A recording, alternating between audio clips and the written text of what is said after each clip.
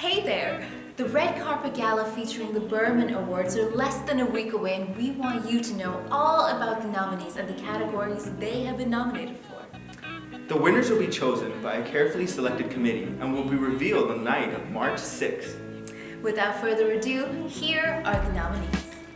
For the category of School Spirit Award, Asia Watson, Shannon Armbrister, Bernae Erb, Chantel Martins, and Marquise Kennedy.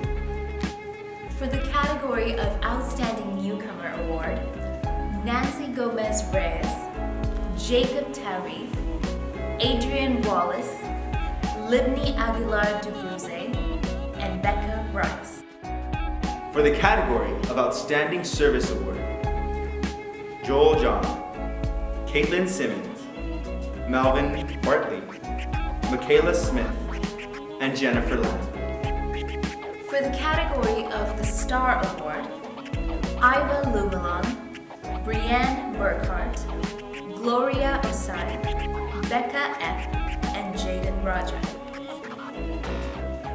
For the category of Inspiring Student Leader Award, Benjamin Amoa, Christine Goja, Nisha Johnny, John Henry Rorabeck, and Brian Cruz. For the category of Outstanding Group or Solo Music Award, Free, Communal Response, Gospel Choir, Burman's Quartet featuring David Tingley, Dakota Heisler, Jacob Sloan-White, and Joshua Grassa, and Peter Dodds for his performance in Charlie Brown. For the category of Fine Arts Award, Janelle Ali, Ambra Reed, Jackie McCarty, Rebecca Maurice, and Talia Orpan.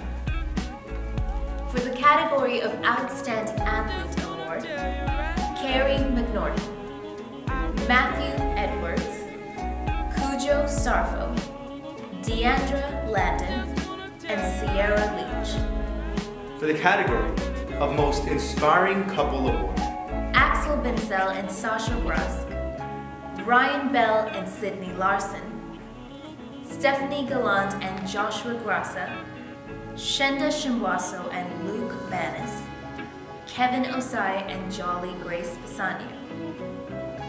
For the category of Most Inspiring Faculty or Staff Award, Nicole Sidney, David Ringer, Tim Butler, Tanisan Samraj, and John McDowell. So there you have it folks, these are the names and these are the categories that you can come out and celebrate with us on the night of March 6th right here in Bentley, Alberta. Don't miss it guys, it's actually gonna be so good. Ah, taste the victory. See you on the red carpet. That was the dumbest ending ever! Well, I had to improvise. No, that was good, but can we Yeah. actually don't, maybe I should just step I, out. I,